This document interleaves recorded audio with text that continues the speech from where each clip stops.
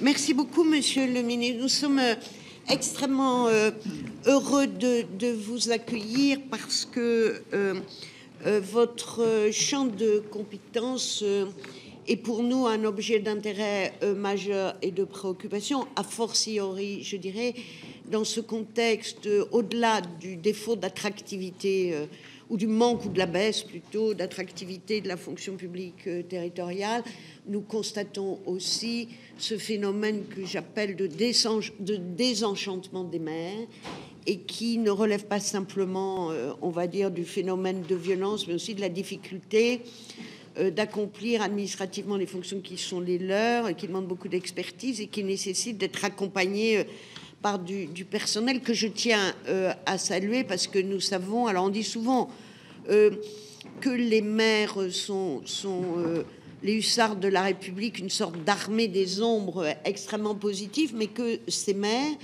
euh, et de manière générale les exécutifs des collectivités seraient juste empêchés euh, d'agir s'il n'y avait à leur côté euh, leurs bras armés euh, que sont les fonctionnaires euh, territoriaux euh, qui ont un sens de l'intérêt général et du service public qu'il convient vraiment euh, de souligner au Sénat. Nous ne manquons pas de le faire, mais chacun d'entre nous, ayant une expérience euh, locale, souvent d'exécutif, nous savons ce que nous devons euh, à, nos fonctionnaires et ce que le service public doit et ce que nos habitants doivent. Et on l'a vu dans des périodes euh, compliquées, euh, comme des périodes de crise de Covid ou encore, je pense, aux périodes de, de de grande chaleur. Rappelez-vous, nous avons dû suivre un par un euh, euh, nos, habitants et nos personnes âgées pendant la canicule. Et si les élus sont des inventeurs de possibles, moi, je pense vraiment que les fonctionnaires sont les producteurs de ces possibles. Et parfois, c'est plus compliqué de produire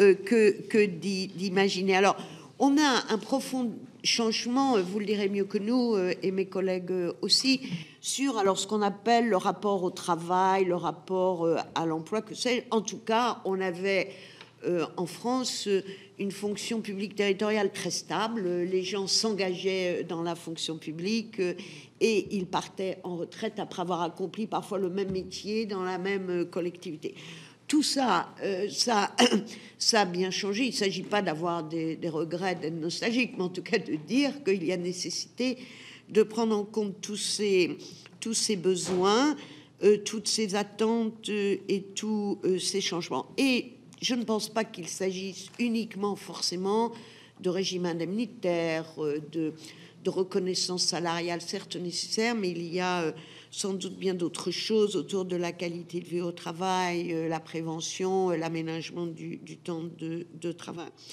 Donc votre prédécesseur avait commandé euh, un rapport sur l'attractivité de la fonction publique territoriale qui avait été rendu par Philippe Laurent. Et il y avait notamment une recommandation qui était sur le développement de la marque service public. Nous avons eu l'occasion d'auditionner quelques exemples, pardonnez-moi de faire valoir ma couleur locale et ma bretonitude, euh, comme disaient certains. Euh, mais nous avons auditionné euh, notamment cette marque d'N BZH. D'autres portent Catherine Di Folco et d'autres nous en parleront. Mais voilà, qu'en pensez-vous? Comment voyez-vous les choses et comment pouvons-nous avancer? Alors, je veux saluer le travail porté, initié par les collègues, donc Catherine Di Folco, qui est au Sénat, la, la, on va dire, une experte du du statut de la fonction euh, publique territoriale. Je veux saluer euh, Jérôme Durin, euh, qui est aussi très engagé sur le sujet et que complète mon travail. Je sais que Jérôme a une contrainte horaire, on maîtrise pas les trains. Et Cédric Vial, de même, ce trio travaille aujourd'hui sur l'attractivité de la fonction territoriale avec un volet particulier sur les secrétaires de mairie. Et vous savez l'attachement que nous portons à ce sujet, puisque au Sénat, une de nos collègues, qui est d'ailleurs membre de, la délégation aux collectivités, Céline Brulin et son groupe, ont porté une PPL dont nous avons discuté, dont nous aurons peut-être l'occasion de reparler prochainement. Je ne serai pas plus longue, je vous cède la parole, euh, sachant que le couvre-feu est vers 12 heures, monsieur le ministre. Si ça vous va. 10 minutes, Madame la Présidente Ça vous va Puis moi, je laisse la parole ensuite à mes trois collègues. Merci beaucoup, monsieur le ministre. Eh bien, merci, Madame la Présidente, et Mesdames et Messieurs les, les rapporteurs et, et, et, sénateurs. Je voudrais d'abord euh, vous remercier de cette invitation prévue de, de longue date pour cette audition.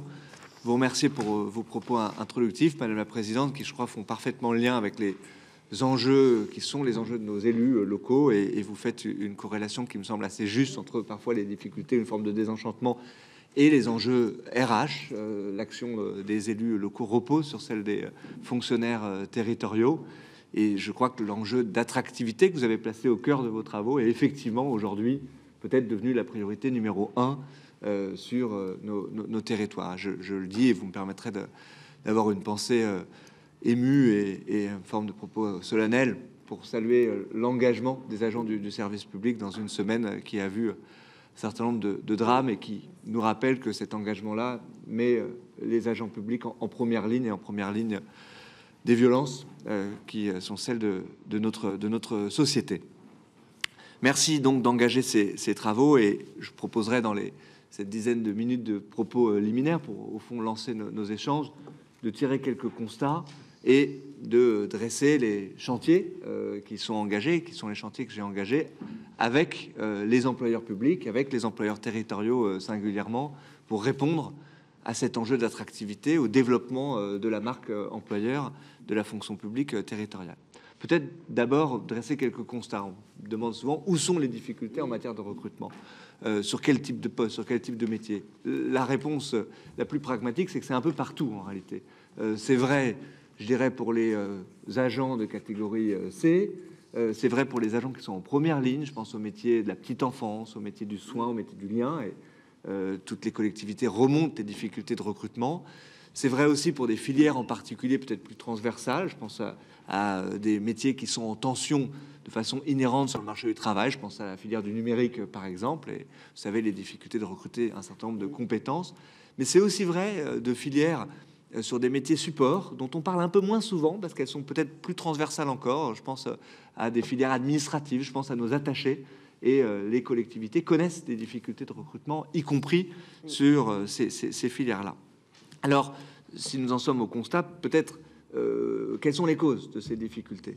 D'abord, je crois qu'une société qui va vers le plein emploi crée des difficultés pour tous les employeurs, privés comme publics. Je le dis d'un mot, mais ça vaut le coup de se le dire quand même, parce que parfois on se flagelle d'une certaine façon en tant qu'employeur euh, public des difficultés de recrutement. L'ensemble des employeurs connaissent des, des difficultés de recrutement aujourd'hui.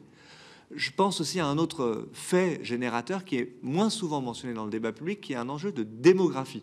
On ne parle jamais de démographie quand on parle de nos difficultés de recrutement. La réalité des faits, c'est que bon nombre de fonctionnaires qui ont été euh, recrutés euh, euh, au temps où Anissé Leport était ministre de la fonction publique, sont en train de partir à la retraite maintenant et qu'on a une bosse de départ à la retraite. Euh, et euh, les secrétaires de mairie qui nous ont occupés et qui continueront de nous, occuper sont, je crois, une bonne illustration d'une filière euh, avec des enjeux de démographie qui sont importants. Il y a des difficultés d'attractivité qui sont intrinsèques à la fonction publique, on y reviendra, euh, et, et, et, et, plus particulièrement sur des zones, des territoires qui ont des difficultés particulières, de zones de vie chère, de territoires en tension, avec des difficultés d'accès au logement, qui font, je crois, partie euh, des constats que nous pouvons euh, tirer. Et donc, une fois que j'ai posé à grands traits ces, quelques constats, quels sont au fond pour moi les, les, chantiers qu'il nous faut engager? Il y en a certains qui concernent les enjeux de fiches de paye et de dynamique de rémunération. Il faut avoir de la lucidité sur ces questions-là euh, ne pas les regarder en face serait, je crois, passer à côté d'une grosse partie du sujet à un moment, j'y reviendrai, où maintenant plus d'un tiers des fonctionnaires de la territoriale sont au niveau de rémunération du SMIC. Euh, et c'est un enjeu auquel on doit pouvoir apporter des réponses. Le deuxième sujet, c'est tous les sujets qui sont tout autour de la fiche de paye, que vous avez mentionné, vous aussi, Madame la Présidente, sur les conditions de travail, et qui répondent aussi à des transformations du rapport au travail. Moi, je suis pas du tout convaincu par la thèse de la grande démission. En revanche, il y a bien une grande transformation par rapport euh, au travail et, nous devons, en tant qu'employeurs, répondre et relever un certain nombre de promesses employeurs pour euh, relever le défi de l'attractivité. Et puis, il y a peut-être, ce sera le troisième axe de mes propos introductifs, un enjeu de mobilisation pour mieux faire connaître les métiers euh, de la fonction publique euh, territoriale. Et cette clé d'entrée autour des métiers, je crois que c'est le fil parce qu'il tire le fil des compétences et les plus fortes révolutions qui sont devant nous, c'est justement la gestion, le développement des compétences. Et nous devons être beaucoup plus capables de raisonner par la clé d'entrée métier, la clé d'entrée compétences, que parfois par euh, des étiquettes collées euh, sur le front des fonctionnaires euh, territoriaux ou des agents publics de façon générale, qui sont parfois un tout petit peu difficiles à décoller. Donc, pour moi, ce sont les, trois axes de, travail. Je, dresserai ici quelques perspectives, peut-être pour ouvrir nos échanges et, ne pas être trop long. Sur les enjeux de, carrière et de, rémunération, pour moi, il y a trois enjeux. Le premier, c'est d'abord comment on accède à la fonction publique. toutes les modalités qui sont parfois extrêmement différenciés en fonction des statuts d'emploi, en fonction parfois des versants de la fonction publique, et ce sont des enjeux auxquels on doit pouvoir répondre aujourd'hui. Parce qu'ils ont parfois des biais, ils créent des effets de concurrence entre employeurs sur un même bassin de vie. Euh, quand je prends un, exemple, vous avez parfois le CHU d'un bassin de vie, fonction publique hospitalière, qui est capable de recruter des agents sur titre, et dans la filière médico-sociale, dans une structure municipale, donc fonction publique territoriale, on impose pour les mêmes postes, les mêmes compétences, un recrutement au concours. Et donc parfois, vous avez un CHU qui vient euh, piquer les agents, permettez-moi cette expression, euh, et vice-versa, vous avez tous en tête des, exemples. Donc on a un travail à mener de mise à plat, au fond, des conditions de recrutement. Ça ne veut pas dire supprimer le concours parfois, et, et vous verrez qu'il y a un fil rouge qui est plutôt de défense du statut, euh, dans ses origines et ses fondamentaux, mais je crois qu'on doit être capable parfois de professionnaliser certains euh, concours, de le recentrer sur les questions de compétences. Un maire me disait le jour, je peux pas me passer de quelqu'un qui a 15 ans d'expérience dans la petite enfance parce qu'il fait trois fautes dans la dictée. Voilà. Et je pense que c'est au fond peut-être le, meilleur résumé de cet enjeu de professionnalisation des, des concours.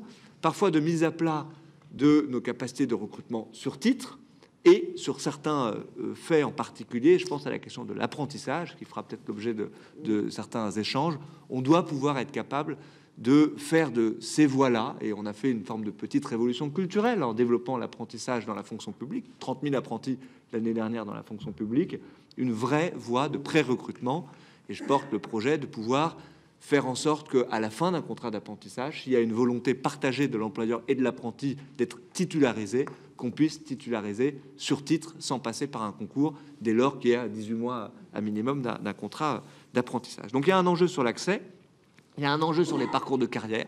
Et là, je ne veux pas être trop long, on aura l'occasion d'en échanger, mais je crois que la question des compétences euh, et donc des enjeux de formation et de développement de compétences ou de reconnaissance, de validation des acquis de l'expérience doit être davantage mise au centre. C'est des sujets sur lesquels on n'est pas suffisamment bon dans la fonction publique.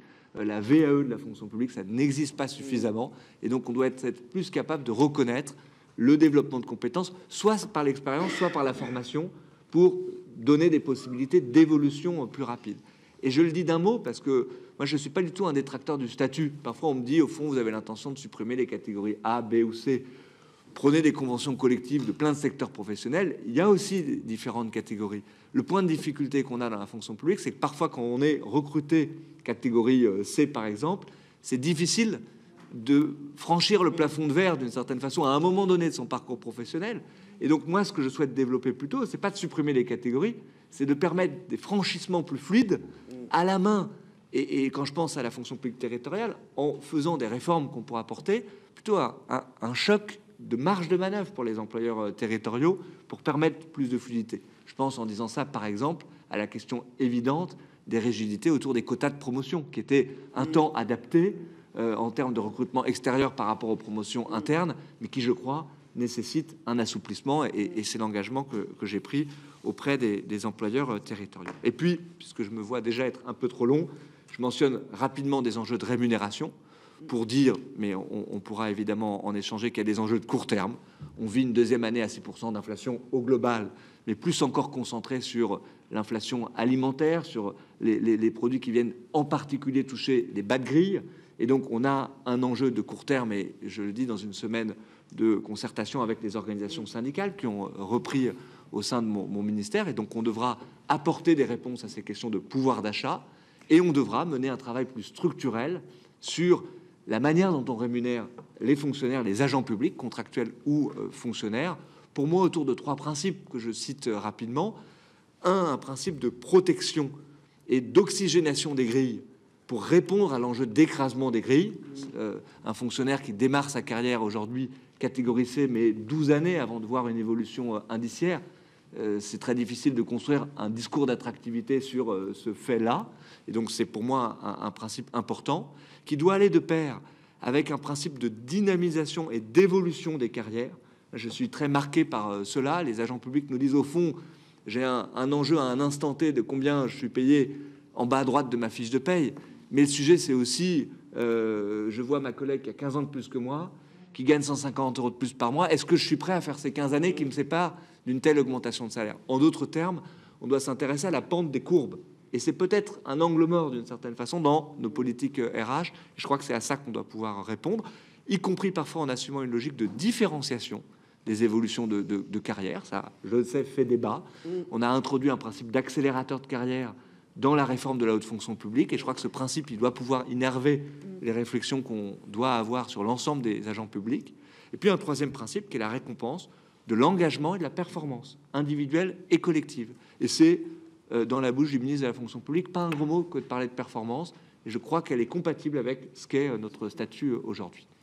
Et puis, je les évoquerai très rapidement sur ces deux chantiers. Le chantier que je citais autour de tout ce qui est autour de la fiche de paye. Euh, on doit pouvoir apprendre un certain nombre de transformations.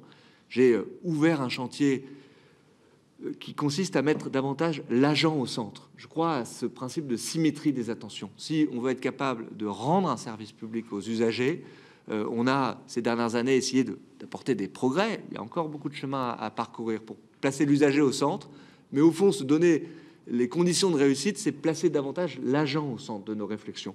Autour de promesses employeurs, j'en citerai six qui sont les chantiers que j'ai pu engager en méthode en associant systématiquement les employeurs territoriaux dès le début, parce que je crois qu'il faut arrêter de penser pour la fonction publique d'État et ensuite décliner pour la fonction publique territoriale. C'est dès le début. Idée, je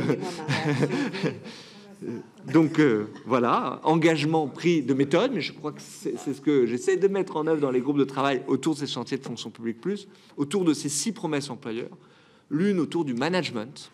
Euh, et il faut pouvoir parler management et euh, euh, enjeux managériaux sur les cadres euh, dirigeants, les cadres intermédiaires dans la fonction publique. Ça veut dire formation initiale et continue. Euh, c'est beaucoup d'enjeux autour des concours, des écoles du service public. J'étais à, à l'INET euh, il y a quelques semaines. Ça veut dire évaluation professionnelle et remise à plat des enjeux autour de l'évaluation professionnelle. Le deuxième enjeu, c'est la simplification pour les agents eux-mêmes, c'est-à-dire tous ces irritants du quotidien qui euh, viennent complètement parfois mettre à bas un discours d'attractivité quand, quand vous avez une mutation de poste, on ne sait pas vous dire combien vous allez être payé parce que les, SIRH, les systèmes d'information, ne suivent pas. Ben, ça, c'est des sujets où il faut des améliorations continues sur ces sujets-là. Il y a un troisième enjeu ou promesse employeur autour des conditions de travail, et je pense aux thématiques de santé au travail, de prévention, et notamment de prévention de l'usure et de la pénibilité. C'est un sujet qui est intimement corrélé au débat que nous avons eu sur les retraites. Nous avons lancé il y a quelques jours une mission confiée à des inspections et à des personnalités qualifiées. Euh, et je pense au président des centres nationaux de, gestion, euh, des centres de gestion, la Fédération nationale des centres de gestion, Michel Iriard, qui a accepté de, de plancher sur euh, ces questions-là pour pouvoir mettre en place ou développer davantage des outils collectifs et mutualisés pour les collectivités territoriales de prévention de l'usure et de la pénibilité. Je pense euh, au chantier que nous menons euh, et aux discussions autour de l'instauration d'une protection sociale complémentaire dans son volet santé et dans son volet prévoyance. Les discussions sont très activement euh, en cours en ce moment. Elles pourront là aussi nourrir nos, nos échanges. Euh, troisième promesse employeur, ou quatrième plutôt, euh, l'environnement de travail, télétravail, temps de travail, transformation des espaces de travail, sobriété énergétique sur les lieux de travail. Et je crois que ces thématiques, elles marchent ensemble. Et c'est comme ça, en tout cas, je pense que ça peut être un objet, y compris de négociation, au sens des ordonnances, potentiellement avec les organisations syndicales, que d'essayer de dégager des lignes directrices sur euh, ces questions qui me semblent très importantes. Cinquième et sixième chantier, l'égalité professionnelle entre les femmes et les hommes. Le Sénat a voté à, l'unanimité, moins deux abstentions, euh, une avancée importante euh, sur l'index l'instauration d'un index d'égalité professionnelle dans la fonction publique et le renforcement des ambitions autour du dispositif de nomination équilibré. Mais il faut aussi travailler à l'éradication des violences sexuelles. Il faut euh, aussi travailler à l'amélioration de l'environnement de travail sur des thématiques importantes de santé des femmes euh, au travail. Donc ce sont autant de, de chantiers qui sont engagés. Et puis dernier élément, le logement des fonctionnaires qui est absolument central et qui doit là aussi faire l'objet de, travaux plus, plus approfondis. Et je conclurai en disant que c'est tout ça, au fond, qui doit être le fondement de notre campagne de communication autour de la marque employeur et l'attractivité. On parle marque employeur parfois en, réduisant ça à un film ou à une campagne euh, d'affichage d'une certaine façon. Ça doit pouvoir donner euh, traduction à des éléments de, de communication. On le fait, on a relancé une campagne trois versants autour de la marque choisir le service public.fr, mais qui est simplement un point de cristallisation pour fédérer l'ensemble des initiatives, vous en avez mentionné euh, quelques-unes bretonnes, Madame la, Présidente, il y en a dans tous les territoires, qui, doivent nous permettre de mettre en synergie les différentes mobilisations autour de la marque employeur, des plus de 300 métiers de la fonction publique territoriale, avec, et je conclus par ça, une clé d'entrée qui doit être celle des métiers. Moi, j'en ai un tout petit peu marre des campagnes parfois euh, autour de la fonction publique où on ne voit que des métiers absolument extraordinaires qui en réalité sont réalisés par une ou deux personnes. Je crois que ce qui fait la fonction publique, ce sont les métiers du, quotidien, sont ceux des agents euh, territoriaux, sont ceux de nos policiers municipaux, de nos secrétaires de mairie, et c'est l'ensemble de ces métiers-là qui font le caractère extraordinaire de servir l'intérêt général et, de servir aujourd'hui euh, le, le, service public. Donc moi, je crois qu'il n'y a pas de fatalité. Il faut regarder les constats en face. Oui, le nombre de candidats au concours euh, public a été divisé par deux ces dix dernières années. C'est un constat objectif, mm. mais c'est aussi une occasion de bouger les lignes euh, et de bouger les lignes plus rapidement qu'on aurait pu le faire euh, peut-être il y a quelques années. Et de nos difficultés autour de l'attractivité, je crois qu'on peut montrer que la fonction publique change, bouge. Il y a quelques jours, j'ai relancé l'initiative de mener un salon autour de l'emploi public, trois versants national. Il y a plus de 4000 personnes qui se sont rendues à ce salon. Ça veut dire que la fonction publique continue d'intéresser. Et donc voilà, je déjà été trop long, mais ça lancera peut-être les, échanges. En, vous remerciant, Madame la Présidente. Merci beaucoup, euh, Monsieur le Ministre, de votre propos. Je vais passer la parole à nos trois collègues. Je vous laisse vous organiser, euh, chers amis. Mes collègues sont fort galants et moi j'apprécie ça. Merci. Non, mais on, on, aime bien aussi hein, la galanterie. C'est pas un gros mot. Euh, merci, Monsieur le Ministre, euh, euh, pour, votre propos introductif. Je relève avec bonheur que vous souhaitez dorénavant peut-être faire une différence entre la fonction publique d'État et la fonction publique territoriale et, hospitalière. Je, suis ravie d'apprendre ça parce que réellement, quand pendant des années, on nous a dit, voilà, ça se passe comme ça à l'État, on va transposer dans la publique territoriale, un employeur à l'État, 50 000 employeurs en public, territorial. Donc euh, voilà, il y a des différences euh, énormes et on ne peut pas tout transposer. Donc merci si euh, il y a une avancée dans ce sens-là. J'ai simplement pour, pour compléter vos propos sur les, les salaires, certes, dans l'attractivité de la fonction publique, il n'y a pas que la rémunération, mais il y a quand même la rémunération. Je pense que autrefois, quand on n'est pas forcément en plein emploi, la fonction publique est, un refuge. C'est plus le cas maintenant, clairement. Et euh, si euh, quelqu'un qui rentre dans le, euh, dans le monde du travail a la possibilité d'entrer dans la fonction publique ou d'entrer dans le privé, il va regarder effectivement en bas à droite de la feuille de, de salaire ce qui se passe. Et clairement, la différence est notable. Juste pour compléter vos propos, euh, une petite étude qui vient juste d'être faite euh, à propos de l'augmentation du SMIC au 1er mai, plus de 2,22%, donc ça fait 38 euros brut. Dans la fonction publique, c'est un nouveau tassement. Ça veut dire que les huit premiers échelons de la catégorie C sont maintenant au SMIC. Les huit premiers échelons. Il faudra attendre 13 ans pour connaître une revalorisation. 13 ans. Pour gagner 14,55 euros. Non, mais c'est juste pas attractif. Vous êtes d'accord les trois premiers échelons de la catégorie B sont aussi au niveau du SMIC. Même en catégorie B, on a la punition. Et alors, au premier échelon de la catégorie A, il est plus qu'à 130 euros brut du SMIC. Autant dire pas grand-chose. Et donc, si le, SMIC évolue comme il commence à évoluer là, eh ben, le premier échelon de la catégorie A sera au SMIC en 2025. 2025, c'est demain. Donc il y a vraiment un gros problème, quoi. Hein. vraiment un très gros problème. Donc voilà. Euh, ensuite, je voulais vous parler euh, peut-être rapidement de, problèmes qui existent entre euh, des différences entre le secteur public et le secteur privé. Et je veux parler, de, par exemple, du handicap, de la prise en compte du handicap. Il est plus intéressant d'être un travailleur porteur de handicap dans le privé que dans le public. Parce que dans le privé, vous pouvez avoir euh, une allocation qui compense votre perte de, faculté à travailler. Dans le public, non. Il y a un moment, on vous dit euh, retraite pour invalidité ou euh, vous allez travailler à temps partiel, mais il n'y aura pas de compensation. Et j'ai un cas, je me permettrai de, vous le soumettre euh, vraiment, où c'est édifiant. Une jeune femme qui a une maladie handicapante, mais qui veut travailler. Elle veut travailler. Elle veut pas être à la retraite. Elle veut travailler. Seulement, elle ne peut pas travailler à temps plein et elle n'a pas de salaire à temps plein. Elle serait dans le privé, elle aurait une compensation. Donc il y a des petites choses comme ça qu'il faut toiletter si on veut toujours parler d'attractivité et de récompenser les gens qui ont envie de travailler pour le public, avec le vrai sens du travail public. Voilà, Monsieur le Ministre, pour l'instant, euh, je laisse mes collègues. Merci. Monsieur le ministre, euh, merci Madame la Présidente. Euh, deux, questions pour ma part. La fonction publique, elle est diverse. La fonction publique territoriale l'est aussi. Et c'est un paysage qui est assez morcelé. On pourrait presque dire qu'il y, a deux divisions.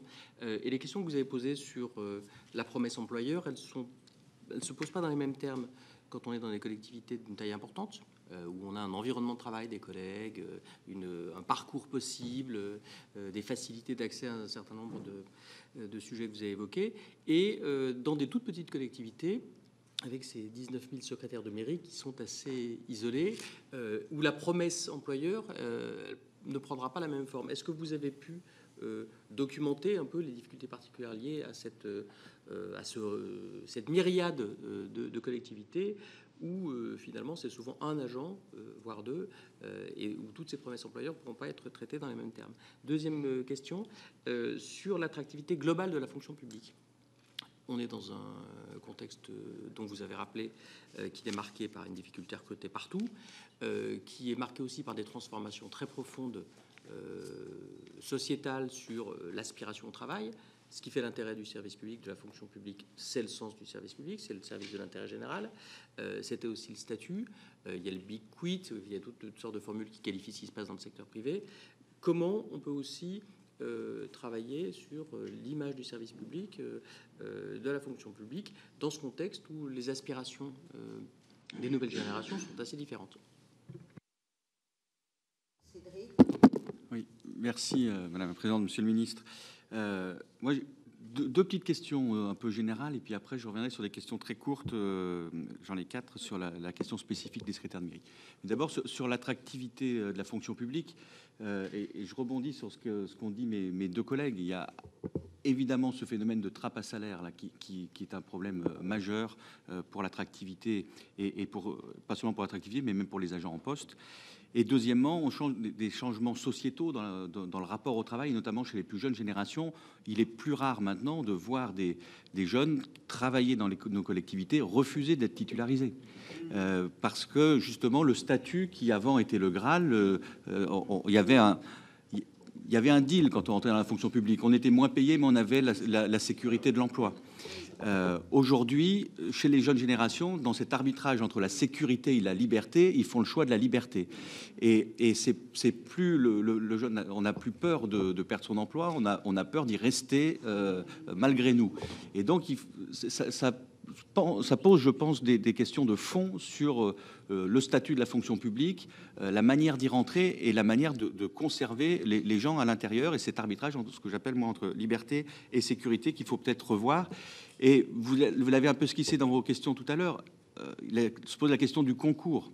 C'est l'ADN de, de, la fonction publique, l'entrée par concours. Aujourd'hui, dans le, privé, on rentre en fonction des diplômes ou de l'expérience. Le diplôme ou l'expérience, il n'est pas rare de voir des bacs plus 5 qui soient catégorie C ou catégorie B parce qu'ils euh, ont passé ce concours-là.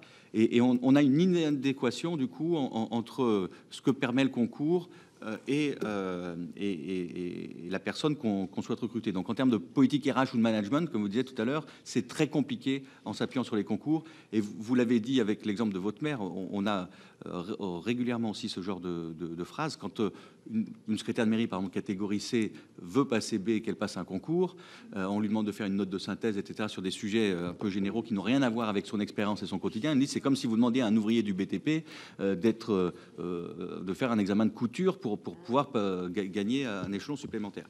Donc, je pense qu'il y, a un sujet de fond ici et, on est très curieux de vous entendre là-dessus. Très rapidement, quatre questions courtes sur les, la situation des secrétaires de mairie. Euh, premièrement, vous savez qu'il y a une, revendication, notamment de l'AMF, de, créer un, statut d'emploi particulier euh, pour, les, pour les secrétaires de mairie. Euh, donc sur le statut d'emploi particulier, sachant que le cadre d'emploi a été supprimé, notamment pour un certain nombre de, difficultés qu'il qu pouvait poser, euh, qu'est-ce que vous en pensez, sachant que les secrétaires de mairie ne souhaitent pas euh, créer un emploi fonctionnel? Donc, est-ce que pour vous, il est possible de créer un statut d'emploi particulier qui ne soit pas un emploi fonctionnel? Est-ce que c'est possible ou pas? Première question.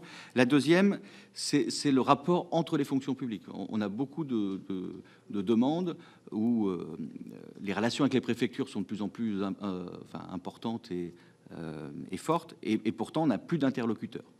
Euh, ils disparaissent même des, des courriers qu'on reçoit où avant on avait le nom de l'interlocuteur ou une adresse mail. Maintenant on a, on a, on a l'injonction sans savoir vers qui se tourner. Donc est-ce ouais.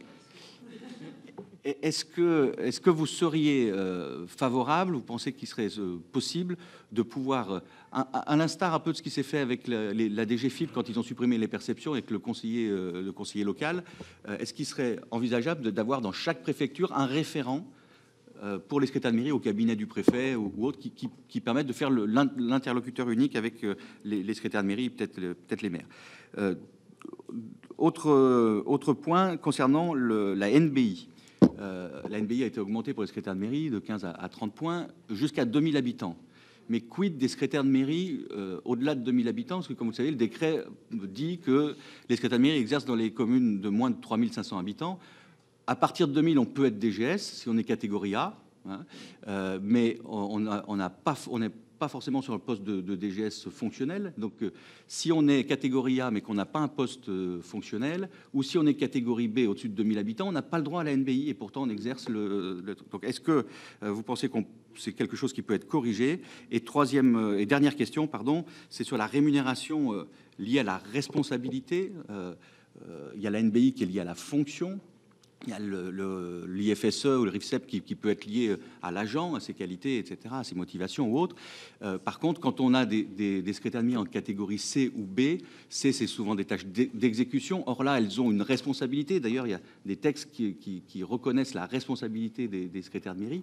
Euh, Est-ce que vous pensez euh, possible, souhaitable, qu'on puisse créer, à l'instar de ce qui existe pour les DGS, une prime de responsabilité euh, qui permettrait à l'employeur de de, de revaloriser l'agent, quel que soit son grade, en fonction de la responsabilité. Est-ce qu'il est en position hiérarchique? Est-ce qu'elle gère des équipements? Est-ce que, voilà. Et en fonction de la responsabilité et non plus uniquement de la fonction, euh, qu'on puisse euh, instaurer cela. Voilà. Je vous remercie. Si, mes chers collègues, je propose qu'on prenne, enfin qu'on vous permette vous de, de, répondre aux questions de, de, notre rapporteur. Et ensuite, on a euh, une demande de parole d'Antoine euh, Lefebvre et de Sylvie Robert. Voilà. Et Christine, excuse-moi, Christine, pardon. En fait, il y a un écran qui me, qui me cache la moitié de la vue. Pardon. Je vous en prie, monsieur le ministre. Voilà, c'est bon. Merci, Madame la Présidente. Merci à, à, à tous les trois pour, pour, pour, ces questions qui, euh, je crois, sont au cœur, de, au, au cœur des sujets. Euh, Madame la, la sénatrice Di Folco, vous avez insisté à, à votre tour sur l'écrasement des, des, des, grilles. C'est évidemment. Euh, je crois, un des sujets numéro un auxquels il faut qu'on qu puisse, qu'on puisse répondre aujourd'hui. Je conteste aucun des chiffres que vous avez donnés, ils sont euh, parfaitement, parfaitement justes. Je, vais même me permettre de les compléter, puisque avant l'augmentation du point d'indice l'année dernière, quand on a pris cette décision, augmentation de 3,5% du point d'indice qui répondait à une inflation qui était elle-même, euh, qui, avait été quasi gelée pendant longtemps avec des, des parenthèses timides entre 2016 et, et, et 2017. Euh, on avait 700 000 agents de la fonction publique qui étaient au SMIC. Après augmentation du point d'indice, on était tombé à zéro agent de la fonction publique qui était rémunéré euh, au, au, niveau du SMIC. Et on est en train, avec la dynamique autour du, du SMIC, mmh. je, la critique pas ni la conteste pas, c'est une mmh. forme de protection pour euh, les, les, plus bas salaires dans le pays, mais on en voit aussi des limites. c'est parfois intéressant de l'avoir en tête dans le débat public qu'on a autour du, SMIC, puisque euh, sur un peu plus d'un an, l'augmentation du SMIC a été d'un peu plus de 10% en réalité, et nous avons peut-être des étapes qui sont encore devant nous euh, sur ces questions-là. Il suffit de prendre les formules de réindexation euh, du SMIC. Et donc on voit bien les limites. On a pris cette décision au 1er mai qui correspondait à la loi, de faire en sorte qu'aucun agent public soit évidemment comme ça peut arriver dans certaines branches professionnelles, rémunérés en dessous du niveau du SMIC. On l'a fait d'ailleurs, je, le dis au passage, sous une forme qui est celle de l'augmentation de l'indice minimum de traitement, c'est-à-dire dans le dur, par une augmentation indiciaire, là où l'usage avait parfois été de faire des compléments indemnitaires. Euh, et donc un peu de bricolage sur ces questions-là. Donc moi, j'assume euh, d'avoir augmenté l'indice minimum de traitement. Mais il nous ramène à ces questions-là. Aujourd'hui, 20% des agents de la fonction publique au niveau de l'indice minimum de traitement et par la... Euh, euh, composition plus forte de catégorie C dans la territoriale, 36% des agents de territoriale au niveau du SMIC. Donc ça, c'est le premier sujet auquel on doit répondre. Ça pose bien le débat des discussions qu'on a avec les organisations syndicales. Parfois aussi, euh, l'avantage du point d'indice, c'est que ça réoxygène les grilles, je l'ai dit à l'instant.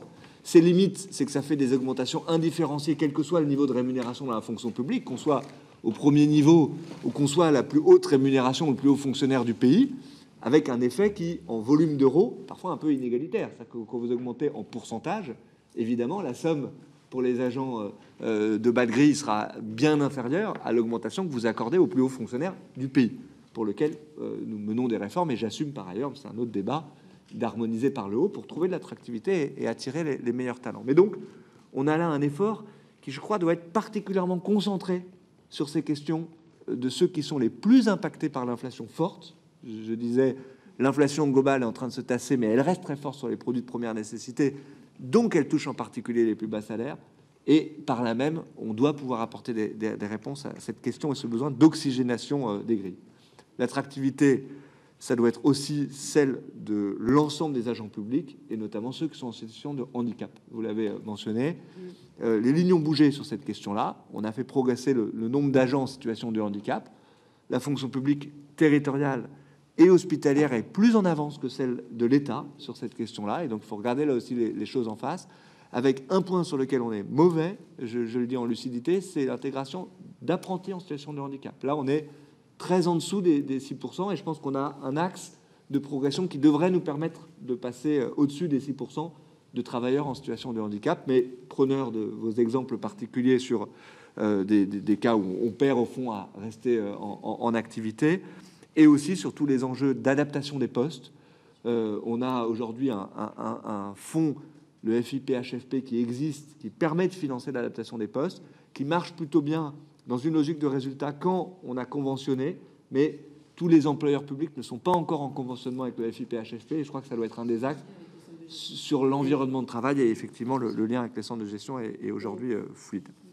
Je veux répondre euh, monsieur le sénateur Durin, sur, sur la, question de, des deux divisions que vous avez mentionnées, qui me semble là aussi euh, parfaitement euh, juste, avec, je, pense, deux sujets derrière qui sont posés, c'est-à-dire parfois des mécaniques, y compris de compétition entre collectivités, parce qu'il faut se dire les choses. On a ces dernières années beaucoup fait dans l'indemnitaire, beaucoup fait par la différenciation catégorielle en fonction de tel ou tel métier, et pas beaucoup fait de façon structurelle et de façon indiciaire. Et donc on a laissé une forme de champ de compétition se développer entre les employeurs euh, par des mécanismes de différenciation. On a resiloté et par là même on empêche la mobilité euh, entre, entre employeurs parce qu'on voit bien que basculer de l'un à l'autre, euh, ça va faire basculer dans un champ indemnitaire que parfois certains employeurs ne sont pas capables de suivre. Et donc, c'est l'objet qui, est posé. Vous avez à juste titre posé quand on a eu le débat, par exemple, sur les secrétaires de mairie, de dire, bien sûr, on peut dire que les employeurs sous-utilisent parfois les outils qui sont à leur disposition. J'ai mentionné à, l'occasion du débat en séance une forme de sous-utilisation des outils RIFSEP pour les secrétaires de mairie, mais vous m'avez dit, je crois à juste titre, ben, euh, prenez vos responsabilités aussi d'une certaine façon. Je reviendrai aux, questions que Cédric Vial me, me posait euh, pour apporter des réponses en indiciaire et ça fera partie des discussions qu'on doit avoir, de savoir si, pour reprendre des termes un peu techniques, on est capable de faire un peu de convergence prime-point, d'une certaine façon, qui nourrit aussi le débat sur les retraites, puisque la partie indiciaire euh, cotise pour les retraites, ce qui n'est pas le cas pour l'indemnitaire, et, qui doit être mis en face d'une modulation des parcours de carrière, euh, d'une dynamique et de la récompense de, de l'engagement. En tout cas, moi, c'est la, la philosophie de, de, travail que je peux avoir. Et le deuxième sujet qui est posé par votre question, c'est celle de la capacité de mutualisation des employeurs. Aujourd'hui, il y a un très fort morcellement. Vous avez mentionné 50 000 employeurs territoriaux. Parfois, et les secrétaires de mairie, c'est un bon exemple. Chacun le sait ici, elles ont un, deux, trois, quatre employeurs parfois euh, territoriales. Des outils de mutualisation existent. C'est parfois le cas, et je crois que c'était le débat que vous avez eu précédemment au niveau des intercommunalités. Et euh, on aura l'occasion d'en discuter sur euh, le fait peut-être de mieux encadrer la possibilité d'emploi par une intercommunalité. Les textes existent sur ces questions-là, et donc je pense qu'on est plutôt dans le champ de l'encadrement des pratiques et de la mutualisation des bonnes pratiques, ou par euh, les centres de gestion qui peuvent et jouent déjà un rôle, mais peut-être qu'on peut un peu mieux là aussi asseoir, parce que je crois que la, la, la mutualisation doit quand même être une réponse aussi à, à, à ces questions-là. Euh, je, je, je, reprends les points que Cédric Vial mentionnait. Je reviens pas sur les trappes à salaire, parce que c'était un, un, point qui, qui convergeait. Peut-être sur, au fond, quel est l'avantage qu'on est capable de proposer avec le statut aujourd'hui à quelqu'un qui regarde de l'extérieur la fonction publique. C'est vrai que l'aspect stabilité de l'emploi est, est, est, parfois même, j'ose le terme, devenu quasiment un repoussoir. De dire, au fond, j'ai l'impression d'être pieds et poings liés dans une carrière, d'autant plus si je suis obligé de faire le même métier toute ma carrière. Je pense que les professeurs sont des bons exemples de ça. De dire, euh, à, un moment donné, soit j'aimerais rentrer dans ce métier-là plus tard dans ma carrière, et, et je pense qu'il faut concentrer les efforts sur les jeunes, mais pas que. Beaucoup euh, de gens sont aujourd'hui dans des questionnements sur la reconversion professionnelle, ont vu le Covid, ont vu l'intérêt aussi de nos services publics, se posent des questions de sens, mais parfois sont rebutés par la faible capacité de la fonction publique à prendre en compte et à valoriser leurs années passées professionnelles. Euh, et, j'y pense pour certains profils qui se posent la question de devenir prof parfois euh, et qui sont parfois rebutés par ça. Donc il faut qu'on soit meilleur et qu'on améliore les lignes là-dessus. J'en fais un axe de, travail. Et je crois qu'au fond, ce qui est devenu pour le coup un avantage euh, rémanent du statut, c'est la diversité des carrières qu'on est capable de proposer. Moi, j'ai des débats parfois avec les syndicats. Je suis transparent là sur le fait d'améliorer la situation des contractuels. Euh, on l'a fait récemment, par exemple, pour harmoniser euh, les congés euh, maternité des agents contractuels avec les agents titulaires. Bah, J'assume. Je, considère que ça, c'est de la mauvaise différenciation. C'est pas parce qu'on est contractuel qu'on devrait être puni et moins bien protégé qu'un agent titulaire.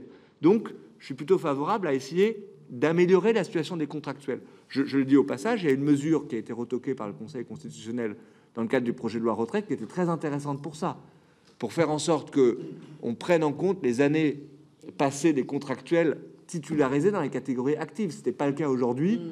Moi, je ne savais pas expliquer que euh, un, un aide-soignant qui a passé six ans en contrat et qui ensuite est titularisé, donc on va, on se donne les moyens de le fidéliser. C'est quand même tout l'enjeu pour l'hôpital. Pardon de ce détour un instant en dehors de la territoriale, mais on ne sache pas lui dire que les six ans qu'il a passé au contrat, elles vont compter dans sa durée de service pour, pour, pour la catégorie active. Donc, je prends l'engagement ici qu'on trouve le véhicule législatif et que cette mesure d'amélioration de la situation des contractuels, elle soit appliquée dans la fonction publique. Je pense qu'elle est nécessaire. Mais donc, moi, je suis plutôt pour faire éliminer les mauvaises différenciations. Voilà, et je trouve qu'il y en a trop. Aujourd'hui, vous faites le même métier, que vous soyez contractuel dans la territoriale ou titulaire dans la fonction publique d'État, tout va être différent pour vous. Et ça, c'est pas normal. Pour assumer la bonne différenciation. Et, et je crois qu'aujourd'hui, l'atout du statut, en termes d'employeurs et de marques employeurs, c'est le cœur de, nos, débats aujourd'hui, c'est pouvoir de dire on est capable de vous proposer une diversité de carrières comme aucun employeur dans le pays n'est capable de vous proposer. Ça, c'est le message très fort, par exemple, d'un salon euh, et, et, et, de montrer la diversité des métiers.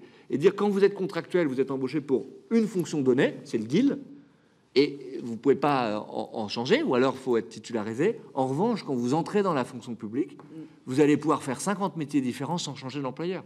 Il n'y a pas un employeur dans le pays qui est capable de proposer ça. Et donc, c'est cette fluidité-là pour redonner, je crois, de, de, l'atout. Sur les concours, euh, j'en ai dit un mot et, vous m'invitez à, au fond à approfondir en une minute, mais euh, euh, je, je, crois qu'il y a deux axes. Un, de pouvoir parfois se passer du concours pour faire plus de recrutement sur titre, sur certains métiers. Et je pense à des métiers où les compétences terrain priment, parfois même sur le diplôme ou les compétences théoriques. Et je crois que je, serais un peu court si je disais que c'est la seule solution. Et, je le dis justement pour un, travail assez approfondi avec le CNFPT et avec les centres de gestion, voire avec les centres, le, le, Centre national de gestion pour la fonction publique hospitalière, ils disent attention, allez pas trop vite là-dessus. Il y a parfois il y a un intérêt à garder un concours, mais en revanche, de revisiter, de toiletter le concours pour professionnaliser nos concours, c'est-à-dire enlever ce qui est inadéquat et aller plus au cœur des compétences. Et là, il peut y avoir un intérêt. Donc, je pense que c'est cette double axe qu'il nous faut poursuivre. Je, veux mentionner que des groupes de travail qu'on est en train de mener avec le, les employeurs territoriaux, on, a pu aboutir à des premières avancées. Je les cite. Euh, on a pu acter euh, la suppression d'épreuves d'admissibilité pour tous les cadres d'emploi de la filière médico-sociale dont les concours ne comportent plus qu'un entretien avec le jury. C'est intéressant. On a également acté avec les employeurs territoriaux la suppression des concours pour les assistants territoriaux socio-éducatifs, éducateurs territoriaux de jeunes enfants, cadres territoriaux de santé paramédicaux, infirmiers territoriaux en soins généraux. On va poursuivre ce travail-là. Il est issu d'un travail de bon sens qui part du terrain et qui peut être discuté, mais je trouve que ça, ça avance dans, la, bonne, bonne direction. Ça, c'est sur la partie concours. Après, sur les secrétaires de mairie, je, termine par là. Au fond, ce sera le cœur du débat qu'on, je crois qu'on aura à l'occasion de l'examen de la, proposition de loi. Euh, moi, je crois, comme vous, de ce que j'ai entendu de vos propos, que recréer un emploi fonctionnel, ça ne serait pas la bonne idée. Et ça serait peut-être une fragilisation parfois des secrétaires de, mairie. Euh, revenir à la situation antérieure d'un cadre d'emploi dédié, je pense que ça serait trop cloisonné. Et je pense que c'est pas ce qu'il faut qu'on fasse aujourd'hui. Au contraire, moi, dans les grandes lignes, ce que je veux faire en sorte, c'est que on ferme pas les viviers de recrutement et on n'enferme pas dans un parcours de dire vous êtes recruté secrétaire de mairie, vous allez rester secrétaire de mairie toute votre vie, mais qu'il faut au contraire qu'on puisse permettre une fluidité des parcours, des agents, par exemple, dans des espaces France Service qui peuvent avoir des profils intéressants, vice versa, euh, devenir euh, DGS euh, par la suite dans un cadre évolutif. Je crois en revanche à une forme de, notion d'affectation fonctionnelle, de dire au fond d'exercer ce métier-là ça recouvre une technicité, un engagement particulier, et c'est comme ça qu'on doit pouvoir peut-être euh, attraper d'une certaine façon la filière professionnelle des, euh, secrétaires de, mairie, et y compris sur les possibilités de promotion, on y reviendra dans, les débats, et sur les, possibilités de valorisation dans la rémunération. Moi, je suis très favorable à ce que vous évoquez, mais il faut voir comment on le, traduit euh, exactement, et, je ne rentre pas dans le débat, on, l'aura, je crois, en séance, mais le fait qu'exercer ce métier de secrétaire de mairie puisse donner lieu à une forme d'accélérateur de, grille d'ancienneté, d'accélérateur de carrière, parce que un temps donné dans votre carrière, vous exercez cette fonction-là, et qu'ensuite on puisse cranter son niveau de rémunération.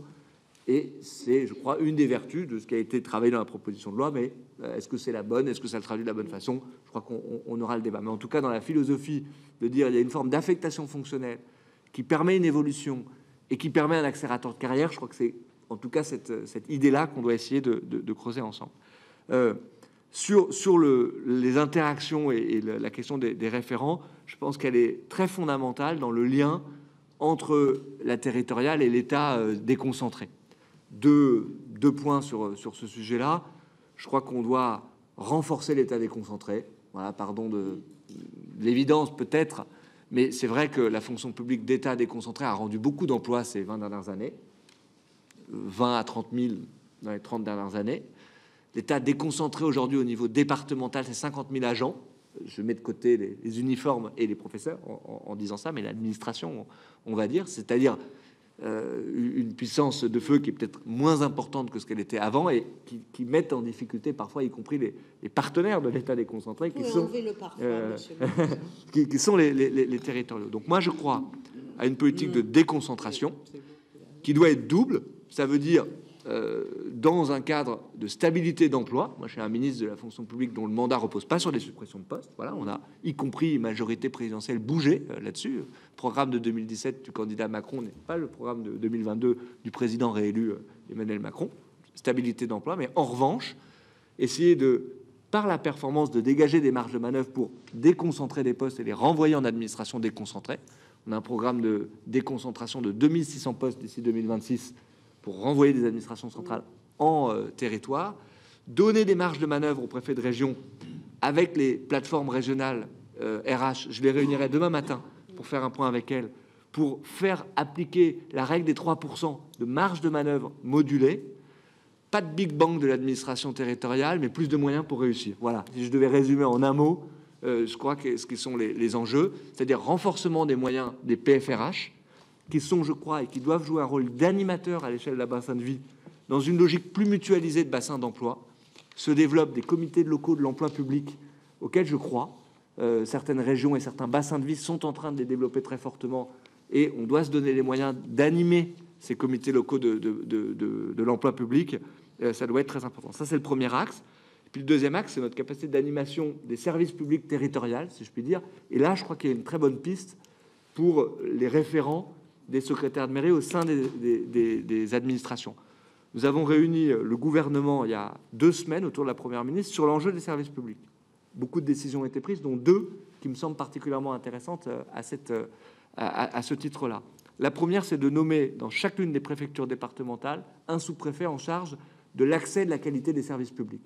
D'avoir un sous-préfet qui soit entièrement dédié à cette question-là et qui y pense matin, midi et soir. Deuxième décision complémentaire, qui est de renforcer le réseau des animateurs de notre réseau France Service. C'est un autre débat et on, l'aura en, d'autres temps peut-être, mais on doit mieux mutualiser les réseaux de services publics. Il ne doit pas y avoir France Service d'un côté, le reste du monde de l'autre, voilà, pour le dire rapidement.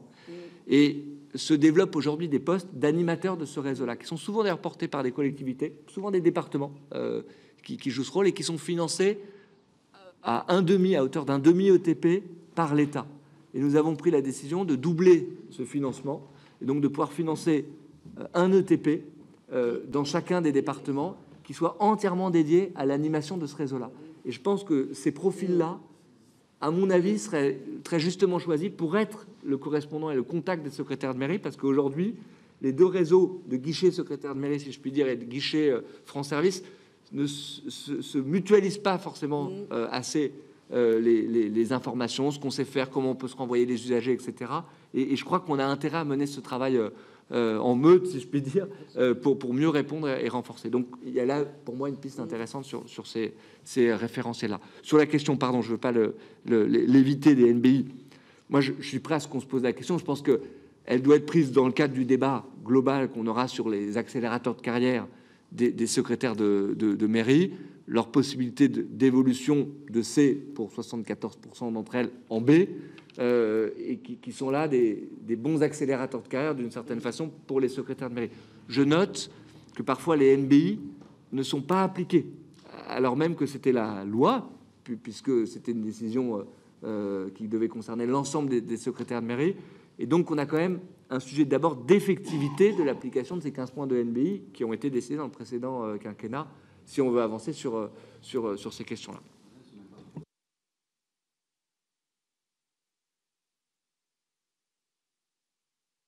Merci beaucoup, Monsieur le Ministre, pour ces, pour ces réponses et les, et les, intentions. Alors, nous, nous pratiquons ici envers certaines structures de l'État, ce qu'on appelle une filature exigeante et bienveillante. L'ANCT est notre premier exemple et nous ne manquerons pas de suivre avec intérêt euh, l'effectivité des choses, parce que vous l'avez dit, moi je crois qu'il n'y a pas simplement une question de moyens, il y a une, une question d'articulation et de coordination et de fluidité, vous l'avez dit, euh, entre les France Services et les services municipaux. Et puis juste un mot sur ce que vous avez dit et ce que les collègues mettent en évidence, c'est-à-dire aujourd'hui le statut n'est pas un élément d'attractivité, il paraît pour des jeunes un élément un peu d'emprisonnement. Euh, et en tout cas incompatible avec la liberté, c'est exactement ce que l'on vit dans le secteur privé, où aujourd'hui euh, des, jeunes, y compris des jeunes adultes, refusent des CDI préfèrent décéder ou l'intérim parce qu'ils gardent la possibilité euh, d'aller-retour dans des périodes de travail et en tout cas de pouvoir préserver leur liberté et leurs envies.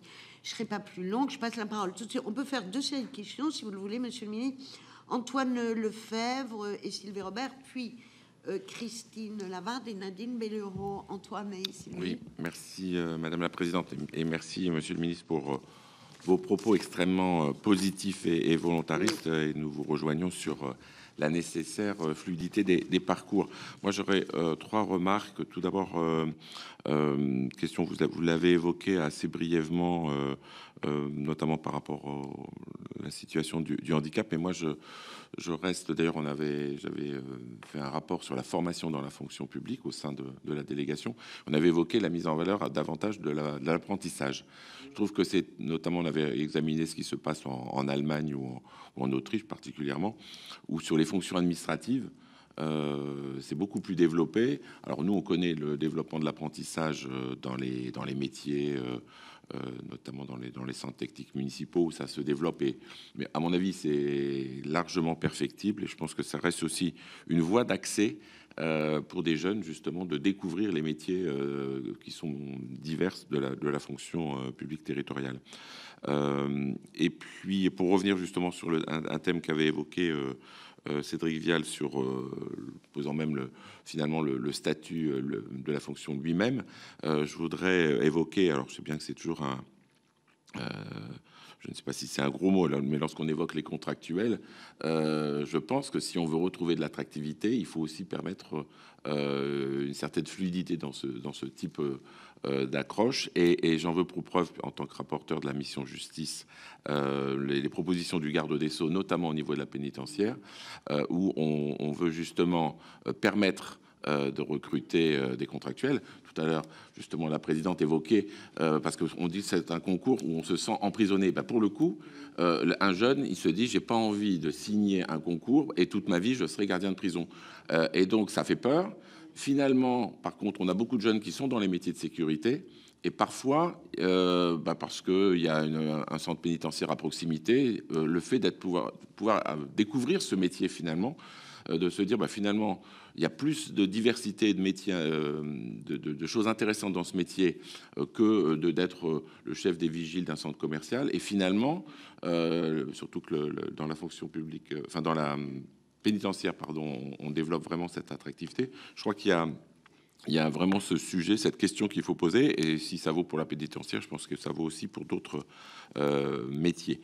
Et puis euh, sur ce euh, sur ce sujet, je voudrais simplement, oui, alors euh, là c'est anecdotique, mais lorsque vous évoquiez justement une meilleure prise en compte des parcours, euh, moi il y avait quelque chose en tant que maire qui, me gênait toujours, c'est que lorsque des, on avait la remise de médailles communales, départementales, régionales, qui est un peu l'équivalent de notre médaille du travail dans la fonction publique territoriale, eh bien certains étaient pénalisés puisqu'ils avaient eu un parcours un peu dans le dans le, privé et c'était pas comptabilisé. Or, la médaille du travail, c'est comme si on leur avait amputé une partie de leur vie professionnelle. C'est un peu bon. Ça, faudrait quand même parce qu'on est dans le symbole, mais c'est important. Et puis dernier, dernière euh, euh, remarque, euh, on a à plusieurs fois parlé des, sous-préfets, référents, correspondants.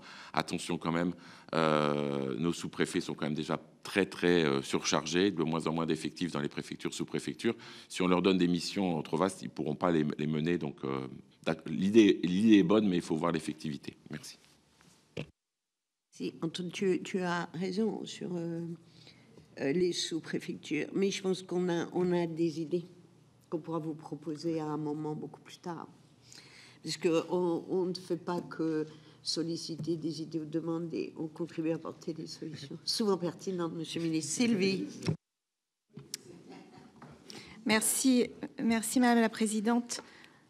Et, merci à Monsieur le ministre et à nos collègues. Je partage bien évidemment beaucoup des constats et des réflexions que, que vous avez. Je voudrais, euh, pas obligatoirement de questions précises, mais vous faire part de réflexions, notamment sur la question de l'attirance euh, et de l'attractivité. Euh, je suis frappée, étant à la vice-présidente de la commission culture et éducation du, du, Sénat, de la façon dont on parle de la fonction publique, question d'orientation des jeunes il y a un sujet euh, d'image, il y a un sujet euh, qu'il faut euh, absolument traiter pour convenir que oui, la fonction publique, territoriale ou d'État peut être innovante, peut être... Et ça, c'est pas les discours que l'on entend. Il y a une vraie question d'orientation. Donc ça, c'est attirer.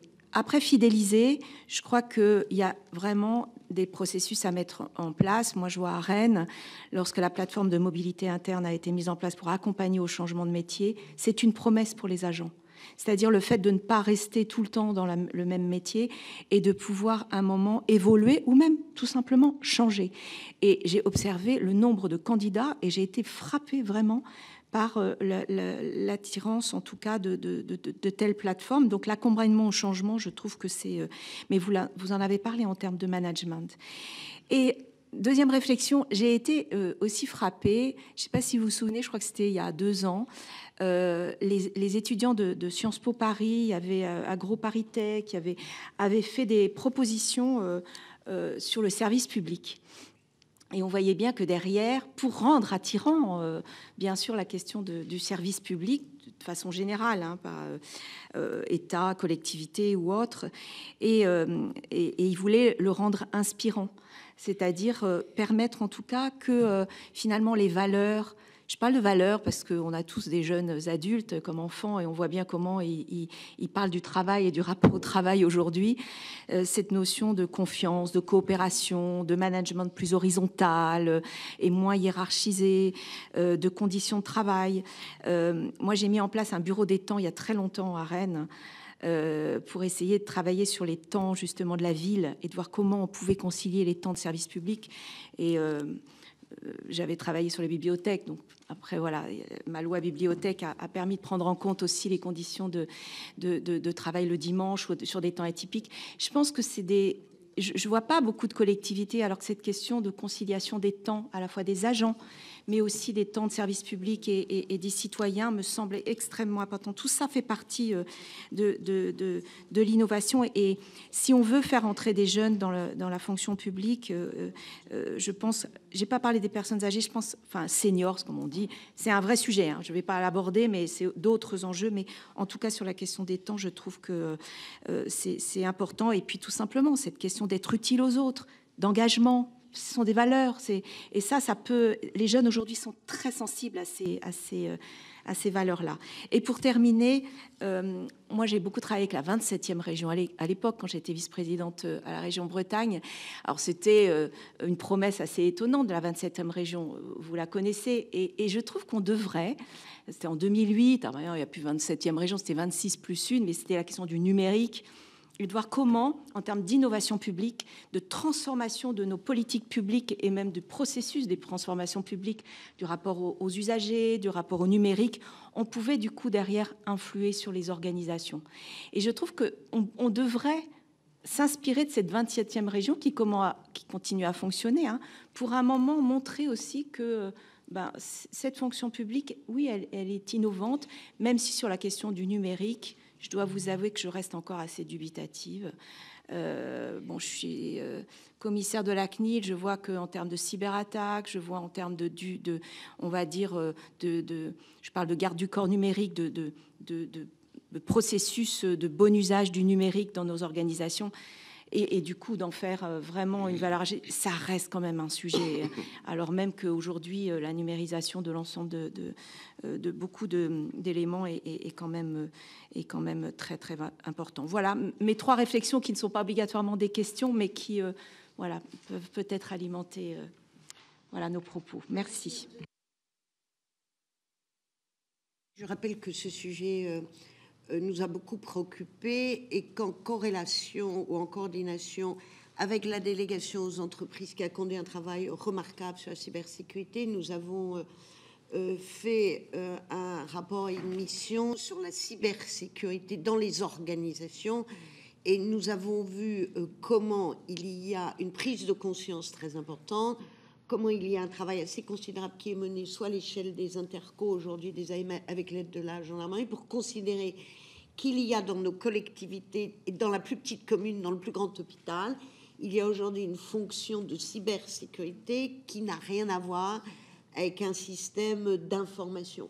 Et les choses montent en puissance, et ça, c'est des nouveaux métiers extrêmement remarquables de la fonction publique d'État, mais aussi territoriale ou hospitalière. Monsieur le ministre, et après, nous aurons une deuxième série de questions avec Christine Lavarde et Nadine Bellereau. Merci, monsieur le ministre. Merci à, vous. Alors, monsieur le sénateur Lefebvre, vous m'interrogez sur l'apprentissage, vous m'invitez à, développer un tout petit peu sur l'apprentissage, en partant du handicap d'ailleurs, ce que je trouve être, euh, à mon avis, un bon point d'entrée. Euh, je le disais tout à l'heure, l'apprentissage euh, des personnes en situation de handicap doit se développer davantage. Nous aurons d'ailleurs l'occasion de, de rénover un décret au mois de juin et qui sera publié au mois de juin, sur la titularisation des apprentis en situation de handicap. C'est existant dans les textes, c'est mal formulé aujourd'hui, c'est pas clair et c'est mal appliqué. Euh, la loi de transformation, euh, dont vous avez été rapporteur. Il me semble qu'il y avait une expérimentation sur la titularisation des apprentis en situation de handicap. Alors je, je me tournerai vers mon cabinet extrêmement compétent, si c'était sous forme d'expérimentation pas. En tout cas, toujours est-il que nous allons publier au mois de juin un décret pour le rentrer dans le dur, et je le parle sous contrôle de Avec la conseillère en charge euh, territoriale. Euh, mais, pour clarifier justement les, les- les modalités euh, et, et- et faire en sorte que Mm. ce qui fait consensus aujourd'hui euh, puisse être appliqué et élargi. C'était l'intention que, que je, j'ai- Mm. je développais tout à l'heure, de faire en sorte que il faudra être attentif euh, dans une filature bienveillante et exigeante euh, euh, sur les modalités d'application, mais, Oui. mais que quand il y a une volonté partagée d'un employeur qui a pu éprouver les compétences d'un- jeune apprenti, parfois pendant 18 mois ou, ou 2 ans ou 24 mois, qu'on puisse titulariser les, les- les- les apprentis. Et donc on, on doit encore le, le renforcer. Il y a aujourd'hui 30 000 apprentis dans la fonction euh, publique. Euh, on va arriver à 12 000 apprentis dans la fonction publique euh, territoriale. On a des enjeux de financement bien connus et, et qui sont en, en- en discussion aussi avec le CNFPT pour pouvoir continuer à financer. Moi, j'ai maintenu l'engagement des moyens de mon ministère pendant trois années pour se donner vraiment la visibilité par rapport aux, aux engagements et conventionnement du, du CNFPT. Il y a des enjeux de financement, il y a des enjeux aussi de cadre d'exercice de l'apprentissage.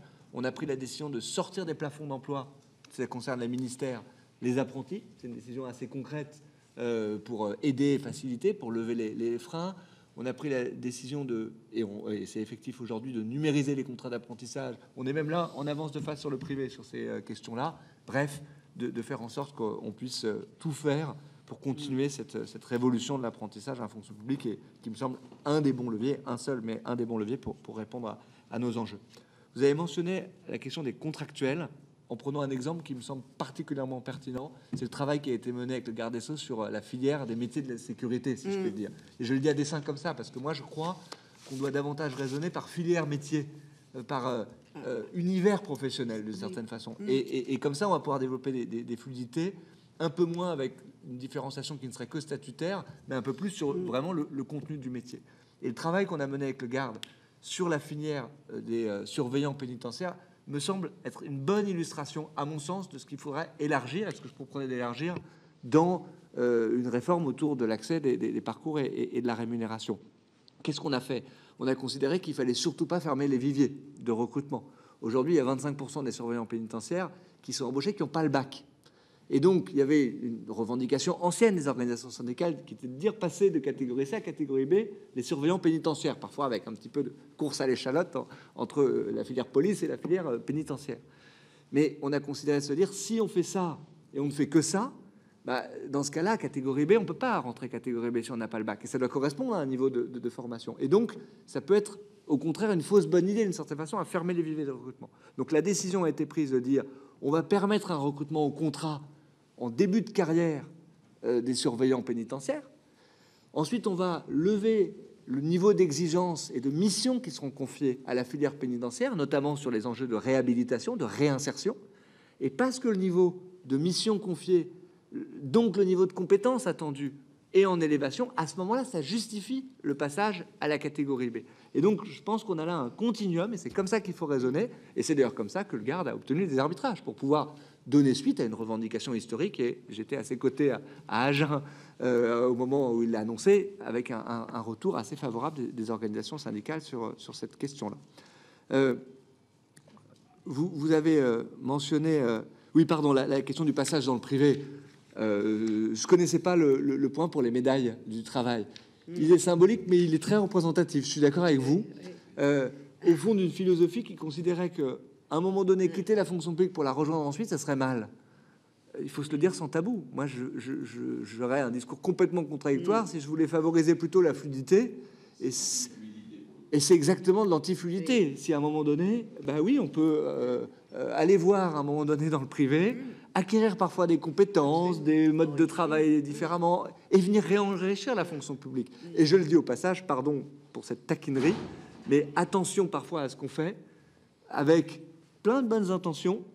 Euh, on a eu le débat sur les cabinets de conseil, l'externalisation, en se disant ben, il faut réinternaliser des compétences. Je suis le premier à le dire.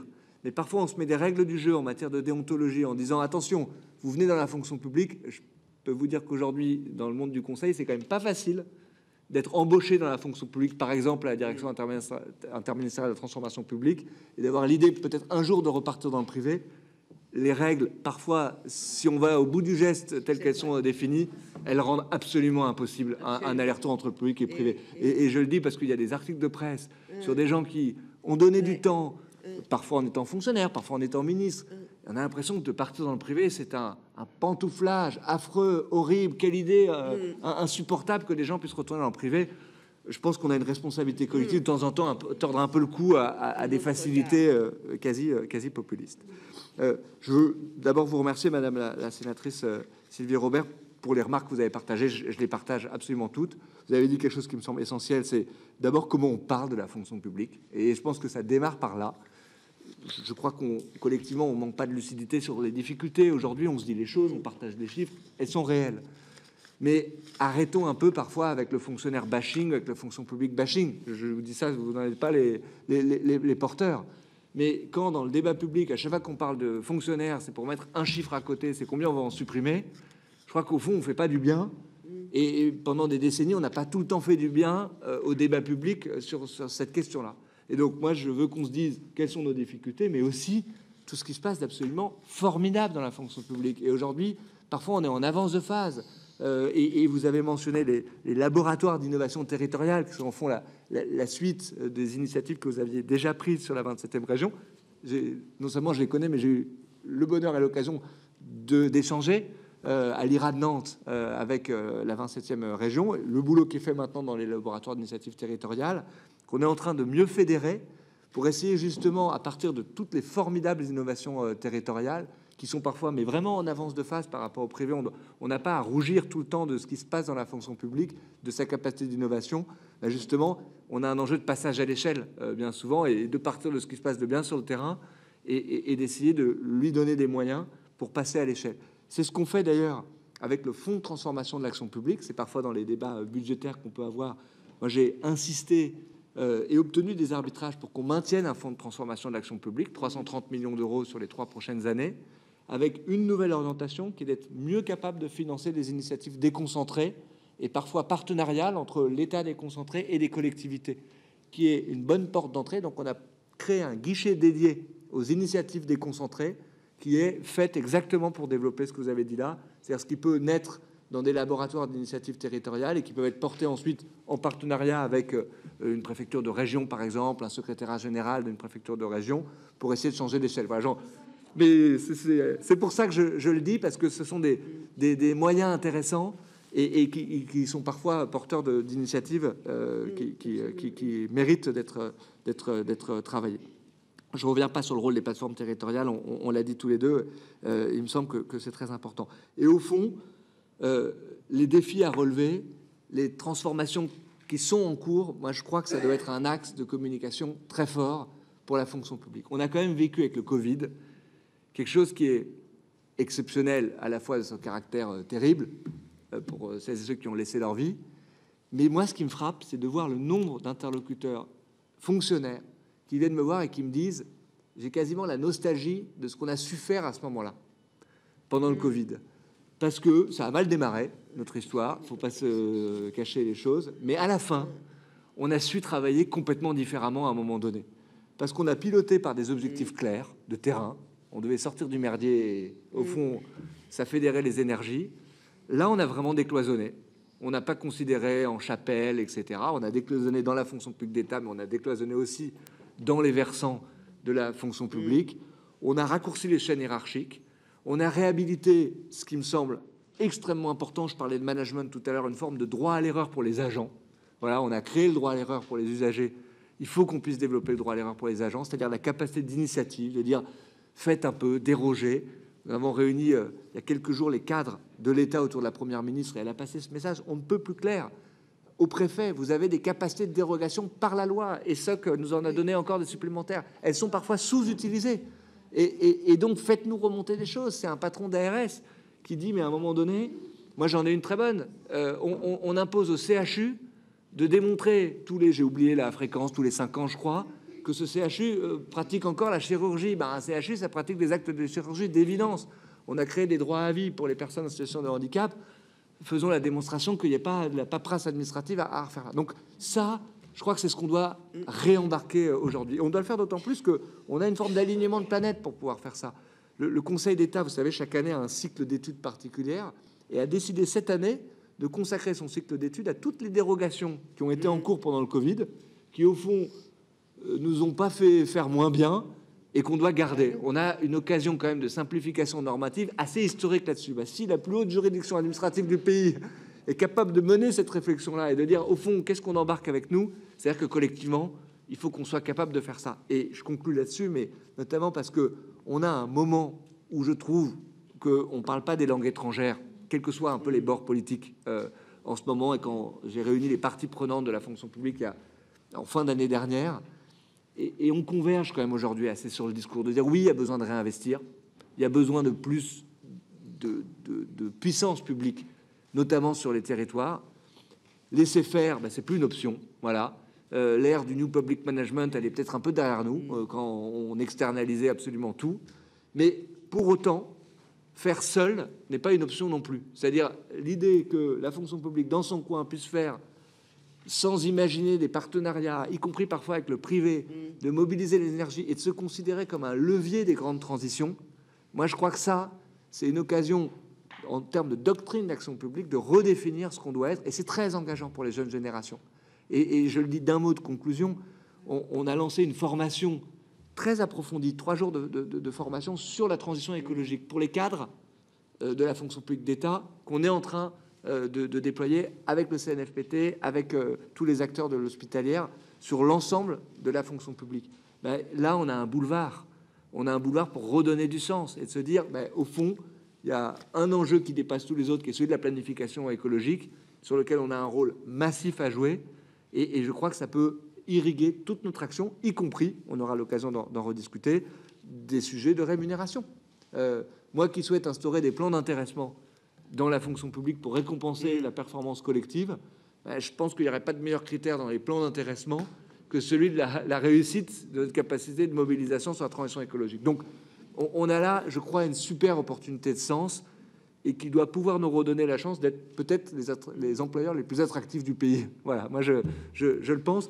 Et, je vous dis des signaux, peut-être faibles parfois, mais positifs, que je vois. Je fais le tour de toutes les écoles en ce moment, celle du service public évidemment, mais pas que. Et, je vois à l'X, à Sciences Po, dans des grandes écoles, beaucoup de cérémonies de diplôme où parfois les élèves mettent euh, la toque par terre en disant on veut du sens et, des signaux faibles sur l'idée de se dire que le service public est en train de retrouver euh, de la vigueur. C'était beaucoup banque et conseil à la sortie de Polytechnique il y a quelques années. C'est en train de redevenir, et ça se traduit dans les faits des choix des corps, euh, un peu plus service public. On n'a jamais eu autant de candidats à l'INSP qui est venu remplacer l'ENA que depuis la création de l'ENA. Ce sont les chiffres d'il y a une semaine que je vous donne là. Ben, c'est intéressant quand même. Mm. Dans un moment un peu catastrophique où on se dit euh, on va mettre par terre toute l'attractivité, ben non, je crois pas que ce soit ça qu'on soit en train de faire. Et, donc je, conclus mon propos par cette note euh, positive. Monsieur, donc on a deux questions. Moi, je voudrais juste, je vous disais qu'on était vigilant. Quand vous rappelez que Madame la Première ministre a raison, elle rappelle au préfet qu'ils ont des pouvoirs dérogatoires. Je voudrais quand même juste euh, rappeler, parce que nous suivons ça très près à la délégation, on a des collègues qui ont fait un rapport sur les services déconcentrés, qu'un préfet ne peut déroger qu'avec l'accord de son administration centrale. Donc je pense qu'il faut aussi lâcher un peu de l'aise autour du préfet, euh, notamment pour mettre en place des proportionnalités euh, de règles, parce que le pouvoir réglementaire, on n'arrive pas à déroger, parce que le temps que la question arrive à l'administration centrale euh, on n'a pas pu attendre et que je ne suis pas sûre que l'administration euh, centrale s'intéresse forcément très rapidement à toutes les questions de nature et de dimensions différentes. Donc tant qu'on fera pas ça, euh, voilà. alors Christine et, Nadine pour terminer les interpellations. Monsieur. Qui m'a tendu une perche que j'avais l'impression que j'allais être hors sujet, mais lui-même est venu apporter euh, la question des, corps et notamment des corps techniques. Et c'est un sujet qu'on suit depuis assez longtemps au Sénat avec euh, ma collègue Catherine Di Folco.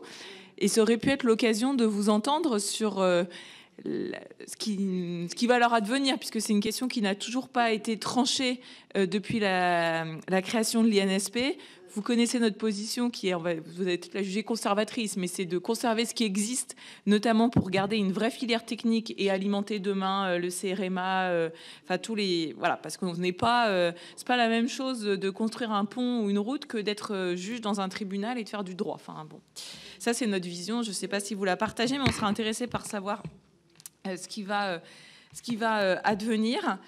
Et le deuxième sujet aussi que vous avez finalement sur lequel j'ai pas entendu grand-chose ce matin et comme j'ai encore rien entendu hier sur cette question, euh, c'est tous ces métiers euh, de la fonction publique euh, qui sont indispensables au vivre ensemble, qui sont mal payés par rapport au secteur privé. Je vais vous donner quelques exemples. Je pense aux professionnels de la petite enfance versus les assistantes maternelles à domicile. Je pense aux policiers municipaux versus les agents de sécurité. Euh, je pourrais faire comme ça une liste assez précise euh, de personnes. Et alors, je parle encore plus avec la casquette euh, d'une élue urbain dense où l'immobilier est extrêmement cher.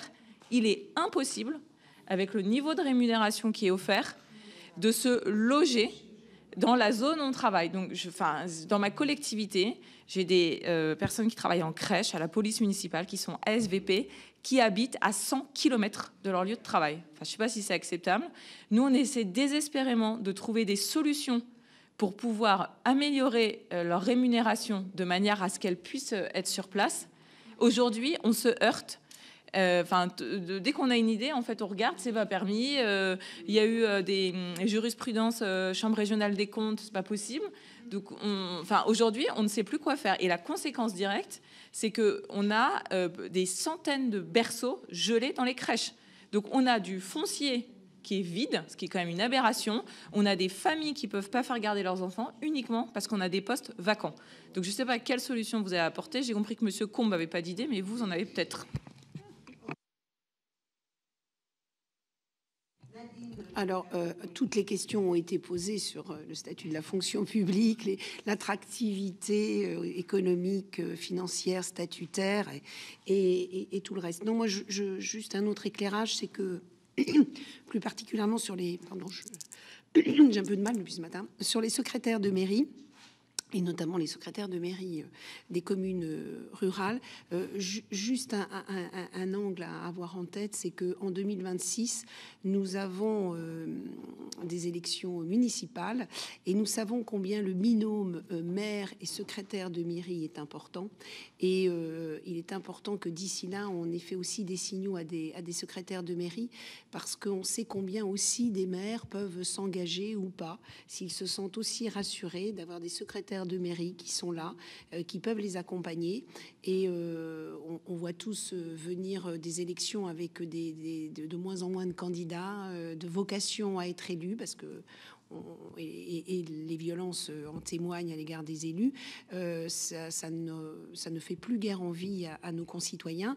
Et c'est aussi un paramètre à prendre en compte parce qu'il y a euh, dans nos communes des binômes et, je pense que certaines personnes pourraient hésiter en sachant que eh n'auront pas ce soutien technique auprès d'eux aussi cette personne qui connaît la commune et voilà donc inciter à des vocations peut peut-être de façon collatérale aussi inciter des hommes et des femmes à se lever pour euh, continuer à faire vivre notre République. C'était donc pas une question.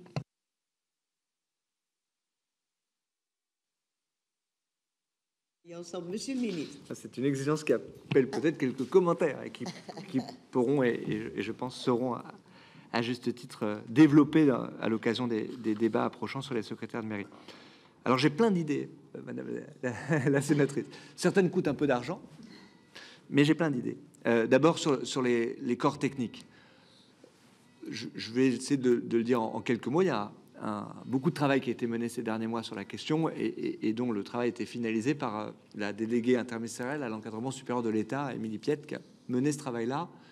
J'ai pas d'obsession de la symétrie euh, entre ce qu'on a fait pour les administrateurs de l'État et ce qu'on pourrait faire pour les ingénieurs de l'État. Je pense qu'il y a des éléments de commun qu'on doit réembarquer dans la réforme des corps techniques et il y a des éléments, des spécificités qu'il faut euh, assumer et qu'il faut au contraire pouvoir euh, valoriser. Les éléments de commun qu'il faut réembarquer pour les grands corps techniques, euh, l'INSEE, les ponts hauts et chaussées, les ingénieurs de l'armement, les mines évidemment, c'est d'avoir plus de capacité à offrir des carrières diversifiées avec une gestion de carrière qui soit beaucoup plus interministérielle qu'aujourd'hui. Dans les corps techniques, on a une gestion qui est parfois un peu siloté. Euh, les armées gèrent les ingénieurs de l'armement et puis on n'est que euh, aux armées. Euh, les ponts et chaussées sont gérés de façon assez silotée. Alors même, et justement c'est un peu l'objet des, des, échanges qu'on avait précédemment, que quand vous avez des compétences techniques d'ingénierie sur la transition écologique, vous pourrez les exercer un jour au ministère de l'Agriculture, demain à Bercy pour l'industrie décarbonée, après-demain dans une administration déconcentrée, dans une DREAL. Et moi, c'est ça que je souhaite développer, pensant justement que notre enjeu maîtrise d'ouvrage, pardonnez-moi, mais il est encore plus important en termes de besoin de réarmement que l'enjeu stratégie, qui occupe beaucoup euh, d'espace euh, du débat euh, public. Ce dont on manque, c'est des ingénieurs. on a besoin, je dirais comme ça, parfois de plus de barreurs, un peu moins de, de plus de rameurs, pardon, un peu moins de barreurs. Sur le terrain. Donc, on, on, on, a besoin de proposer des parcours décloisonnés. Donc, tout ce qui est, au fond, convergence statutaire, de grille de rémunération, etc., avec la même logique plutôt d'harmonisation par le haut et d'exigence, ça, je pense que ça doit faire partie de ce qu'on doit pouvoir embarquer, et je souhaite le faire dans ce quinquennat, et d'aller vers une harmonisation des corps techniques dans une logique de gestion des ingénieurs de l'État avec leurs spécificités. Et quelles sont ces spécificités? D'abord, le côté extrêmement technique, parfois, leur métier. Je partage complètement ce que, vous avez dit parfois de pas jeter avec euh, le bébé avec l'eau du bain sur ce qui marche. Il s'avère que ces corps techniques, ils font du pilotage de carrière, parfois de façon un peu corporatiste, il faut se le dire, mais ils le font pas si mal que ça. Je pense aux mines, par exemple. Donc, j'ai pas envie de mettre à bas un système qui parfois fonctionne, qui permet de faire euh, la gestion de l'emploi, qui permet de faire des entretiens, etc. Euh, c'est ça qu'il faut qu'on ah oui, oh dans la grande largesse, mais bon, bref, euh, il, faut, assumer ça. Et puis, un, jeu d'attractivité qui est très fort, parce que des élèves qui sortent de l'X, par exemple, ils rejoignent pas tous la fonction publique, ce qui est une différence avec euh, des élèves qui ont choisi l'INSP, et je le dis en étant à l'aise sur l'attractivité renforcée de, l'INSP. Donc ça, ce sont les spécificités. Donc ça doit nous conduire à mettre en place un système avec une gestion par pôle de compétences davantage euh, autour des métiers de l'économétrie, les métiers de la data, les métiers euh, d'ingénierie autour de la transition euh, écologique notamment, et avec cette gestion par pôle de compétences qu'on pourrait confier à la dièse, justement et à ses délégués interministériels, d'avoir une part de convergence sans mélanger les administrateurs de l'État et les ingénieurs de l'État, en gardant leur spécificité, et en même temps une animation beaucoup plus transversale de leur parcours de carrière. Donc c'est ça qu'on est en train de construire c'est le travail de l'année 2023 pour pouvoir initier cette réforme des corps techniques euh, à l'année 2024. Et je peux vous dire qu'il y a un attendu, notamment sur l'aspect euh, indiciaire indemnitaire, qui a été revu, vous le savez, pour les administrateurs de l'État, où j'ai assumé une harmonisation par le haut. Il n'y a pas de raison que ce soit les ministères les plus riches qui soient capables de proposer les rémunérations les plus euh, élevées, mais qui va de pair avec plus de variables, pour le dire ainsi, qui, je pense, est une bonne gestion pour les plus hauts cadres euh, de l'État, et ce qui était déjà le cas, par exemple, pour, pour les préfets. Entièrement d'accord avec ce que vous avez dit sur les métiers que vous avez mentionnés. Il y a euh, des départements où échangé avec euh, le président du conseil départemental du 93, il me disait, moi, c'est plus de créer des emplois, c'est de les pourvoir. Et il mentionnait les mêmes exemples que vous, les PMI. 8 emplois ouverts dans une PMI, un pourvu, on n'est plus en capacité de rendre le, le service. donc je pense que c'est le cœur du sujet, qui, en méthode, doit, pour moi, mener un travail sur les transformations structurelles qu'on doit faire. On en a très très largement euh, parlé là. Et puis avoir quelques démonstrateurs, d'une certaine façon, où on n'attend pas la grande réforme pour pouvoir avancer et changer les lignes. C'est pour ça que je suis particulièrement, j'ai de l'appétence au débat qu'on va avoir sur les secrétaires de mairie. Je pense que c'en est évidemment un bon. On est en train de mener un travail qui va trouver son achèvement dans les toutes prochaines semaines sur la police municipale, sur la revue de leur régime indiciaire et indemnitaire sera un sujet intéressant et je pense qu'on pourra avancer sur cette question-là. C'est un travail que, que, je conduis évidemment et, avec, qui est piloté par Dominique Faure euh, sur cette, cette question. Et donc, on, doit pouvoir avancer avec des démonstrations concrètes sur certains métiers Euh, je pense à une charte d'engagement pour les ADSEM, pour reprendre et allonger un tout petit peu la, liste que vous avez initiée. Mais globalement, je, je terminerai là-dessus, il faut éviter la mauvaise différenciation et assumer parfois la bonne différenciation. Et je pense que l'enjeu territorial que vous avez évoqué, il est pour moi central. Euh, il y a des territoires où il y a des enjeux de vie chère qu'il nous faut pouvoir davantage appréhender et où il faut se dire les choses. Nos indemnités, la cartographie de l'indemnité de résidence, par exemple, bah, elle colle plus forcément à la réalité euh, des faits. Je, le dis, vous voyez, en regardant euh, droit en face un, un sujet, et j'ai évoqué le fait que les décisions qu'on pourrait prendre peuvent coûter cher sur ces questions-là. remettre complètement à plat, vous, vous parlez vite en milliards d'euros sur, sur, sur ces questions-là. Mais je crois que c'est des questions qu'on doit pouvoir appréhender, et notamment sur la question du logement. Moi, je partage complètement ce que vous avez dit, et donc je souhaite qu'on puisse avancer sur euh, l'enjeu du logement, au moins dans trois directions que, que je donne là pour pas être euh, trop long. Un, un enjeu de gestion euh, de l'offre et de pilotage de l'offre, où nous avançons là encore avec des silos qui sont beaucoup trop étroits. Vous avez les armées qui gèrent assez bien euh, le logement de, ces fonctionnaires. Il y a une politique du logement à l'intérieur. Il y a des ministères qui ont zéro politique du logement et aucune mutualisation avec les autres versants, et notamment le versant territorial de la politique du logement. Donc, je souhaite qu'on puisse lancer dans les toutes prochaines semaines, au mois de juin, un comité interministériel du logement des fonctionnaires qu'on piloterait avec Gabriel Attal, euh, qui a la tutelle sur la DIE, euh, avec Olivier Klein, le ministre du Logement, et moi-même, pour avoir cet angle sur le logement des fonctionnaires, pour mettre en place une offre beaucoup plus décilotée euh, en embarquant les collectivités territoriales dans la capacité d'animation autour de l'offre de logement. Deuxième axe, on aura des travaux à mener sur des baux spécifiques pour les fonctionnaires. Aujourd'hui, il y a des rigidités qui rendent l'accès au logement social, au logement intermédiaire difficile pour les fonctionnaires. Et donc, s'il faut faire bouger la loi sur ces questions-là, je souhaite qu'on puisse faire bouger la loi sur euh, ces questions-là. On aura des travaux euh, à, mener là-dessus. Puis le troisième sujet, c'est de fabriquer du logement. Parce que on pourra animer tout ce qu'on veut en termes de politique du logement si l'offre n'est pas euh, développée. Et je pense à du logement intermédiaire à, part réservé aux fonctionnaires. en réalité, on, animera avec un, un socle d'offres qui sera beaucoup trop, trop étroit. Et donc, là-dessus, il y a des initiatives qui peuvent être prises. Là non plus, il n'y a pas de fatalité. Je vois euh, ce qu'on est en train de faire euh, sur le versant hospitalier, avec notamment l'ARS pour les soignants et la PHP. On investit 80 millions d'euros dans des programmes de façon contractuelle avec des opérateurs qui sont prêts à s'engager avec nous, parfois en libérant du foncier. Il y a du foncier de l'État, par exemple, qui peut être mis à disposition avec une contractualisation. On est en train de rencontrer l'ensemble des acteurs du logement pour voir dans les prochains mois quelles sont les offres qu'on pourrait développer avec ensuite des logiques de logement réservé à euh, certains euh, fonctionnaires. Je pense aux soignants, euh, je pense aux policiers, je pense effectivement à, des métiers de la petite enfance qui nécessitent de pouvoir travailler près de chez soi pour des enjeux qui sont à la fois de qualité de vie au travail, de pouvoir d'achat, comme d'écologie sur des problématiques de, de déplacement. Donc, c'est des sujets sur lesquels je veux vraiment pas rester les, bras ballants, parce que oui, il y a des idées pour pouvoir avancer. Pardon de ma réponse un peu longue, mais, mais sujet vraiment d'importance.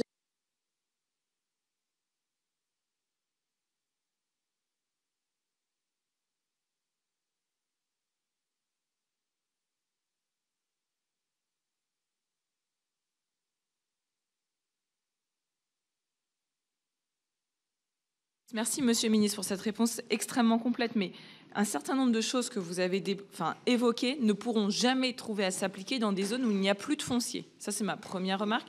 Ma deuxième remarque, c'est qu'aujourd'hui, le logement intermédiaire et autres ne rentrent pas dans le quota SRU. Donc, vous comprenez bien qu'une commune qui est prélevée de 6, 7, 8, 9, 10 millions d'euros par an, elle va faire que du logement euh, qui compte dans SRU. Et donc, bien évidemment, jamais ces gens qui travaillent ne seront éligibles à rentrer dans un logement. Et enfin, ma dernière remarque, vous nous avez parlé rémunération. Je pense qu'il y a un moment aussi où, enfin, si on veut que ça marche, il faut aller plus loin. Et je vais donner les policiers municipaux, par exemple, aujourd'hui, on ne peut pas leur appliquer euh, les règles qui s'appliquent aux pompiers. C'est-à-dire que nous, euh, brigade des sapeurs-pompiers on a des militaires. Ils n'ont pas de temps de travail, donc ils font euh, leurs astreintes sur euh, trois jours. Ils logent dans la caserne sur un lit superposé et ensuite ils vivent quatre jours dans leur maison, qui est à 100-150 km de Paris. Aujourd'hui, moi, mes policiers municipaux, je ne peux pas leur appliquer ce régime parce qu'ils sont dans le code du travail de la fonction publique à 35 heures par semaine. Ou... Donc ça, et pourtant, ils font, entre guillemets, le, quasi le même métier, enfin un métier qui se ressemble. Et c'est pas donc voilà ça c'est et ça c'est au-delà de juste verser de l'argent. C'est aussi trouver des solutions quand de toute façon on ne pourra pas faire de logement. Enfin venez je vous invite à faire une petite visite Boulogne vous verrez qu'il n'y a pas de foncier. Donc euh, à part sous terre peut-être. Et encore il y a la Seine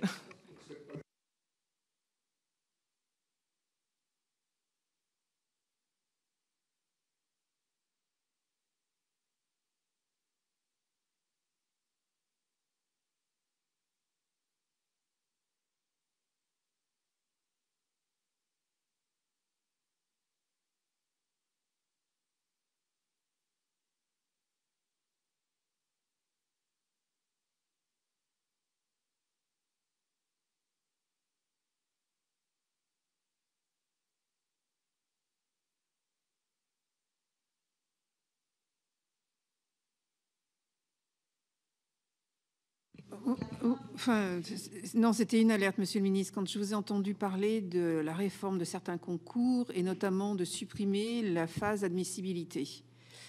Regardez ce qui se passe avec le concours des ATSEM. C'est exactement ce qui a été fait il y a déjà une dizaine d'années maintenant. Catastrophique. Pourquoi? Parce que finalement, tout le monde peut voilà, passer euh, le concours d'ATSEM, c'est-à-dire un entretien de 20 minutes. Comment peut-on juger quelqu'un sur 20 minutes? Voilà, c'est difficile. Et en réalité, si la personne répond bien aux questions, elle a bien préparé, elle présente bien, etc., etc., etc., elle a une bonne note, c'est-à-dire elle va avoir 18. Et à 18, elle va pas passer le concours. Pourquoi? Parce qu'il y a 300 candidats, il y a 50 postes. Donc il, faut, il va falloir avoir 19, 19, 75 pourquoi pas 20 et impossible de mettre 20 à quelqu'un. Ça veut dire qu'on a fait des cohortes de frustrés parce qu'elles ont pensé passer un très bon entretien et elles ont passé, je dis elles, pardon, je vais encore m'attirer des foudres, mais c'est parce que c'est beaucoup féminin. Non, non, mais je me suis attiré des foudres sur les secrétaires de mairie parce que j'ai dit elle un jour. J'ai un mail comme ça incendiaire, j'ai un mail comme ça incendiaire. Donc voilà, peu importe. Euh, je veux dire, euh, ces agents-là, ces personnes-là ont pensé passer un très bon entretien. Ils ont passé un très bon entretien. À 18, ils sont recalés au concours. Parce que justement, l'épreuve d'admissibilité permettait quand même sur ces 300 candidats eh bien, d'en écrémer un certain nombre et de ne laisser que 150, par exemple, pour le deuxième entretien. Donc faites attention à ça parce que ça part d'une bonne intention, mais in fine, c'est catastrophique. Voilà. Je ne sais pas si vous avez le droit de répondre. Ah, pardon. Sans passion, mais je vous remercie de votre passion parce que je crois qu'elle vous honore, euh, elle est à la hauteur de votre engagement. Mais je ne voudrais pas que nous achevions notre conversation euh, en tout cas, sans auditoire, monsieur le ministre. En tout cas, sincérité euh, d'engagement, ça je peux vous, le garantir, et, et, 10 secondes qui est vraiment plus en méthode moi, je, je, me considère même pas, enfin, loin d'être le mieux placé pour euh, juger concours par concours, filière par filière, etc. Donc, je crois que la seule bonne réponse, c'est une réponse de méthode, c'est de partir de la situation vraiment du terrain, de, du niveau d'exigibilité, des critères d'admissibilité actuels, euh, du nombre de candidats existants par rapport au nombre de postes, etc. Et, de le faire avec les employeurs euh, territoriaux et, vraiment d'avoir des groupes de travail là-dessus. Et, où, je, où, je, pense que c'est pas au ministre de décider euh, d'en haut, euh, même si je me sens vraiment ministre des trois versants de la fonction publique, quelles doivent être telle ou telle épreuve, il, faut qu'on le construise ensemble. Mais...